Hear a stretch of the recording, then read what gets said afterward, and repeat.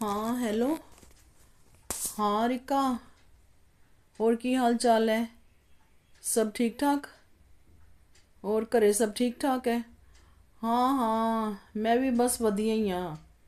ਠੀਕ ਹੀ ਹੈ ਵਰਤ ਰੱਖੇ ਹੋਏ, ਤੈਨੂੰ ਪਤਾ ਹੀ ਹੈ ਕਮਜ਼ੋਰੀ ਆ ਜਾਂਦੀ ਹੈ ਪੂਰੀ ਵਰਤ ਰੱਖਣ ਨਾਲ।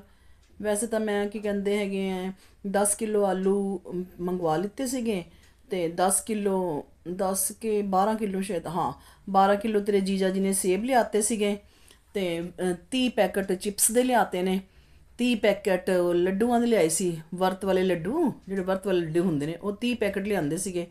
ਤੇ ਮੈਂ ਕਿਹਾ ਚਲ ਖਾ ਲਾਂਗੀ ਕਿਤੇ। ਫਿਰ ਇੰਨਾ ਖਾਇਆ ਵੀ ਨਹੀਂ ਜਾਂਦਾ ਤੈਨੂੰ ਪਤਾ ਹੀ ਹੈ ਹਨਾ? ਜਿੰਨਾ ਹੋਏਗਾ ਉਨਾ ਹੀ ਖਾ ਜਾਂਦਾ ਪਤਾ ਨਹੀਂ ਲੋਕ ਕਿਵੇਂ ਖਾ ਲੈਂਦੇ ਆ।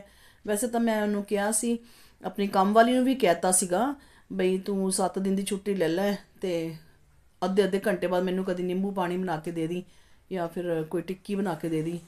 ਪਰ ਮੈਂ ਹੈਰਾਨ ਆ ਕਿ ਲੋਕ ਖਾ ਕਿਵੇਂ ਲੈਂਦੇ ਇੰਨਾ ਵਰਤ ਰੱਖ ਕੇ, ਹਨਾ?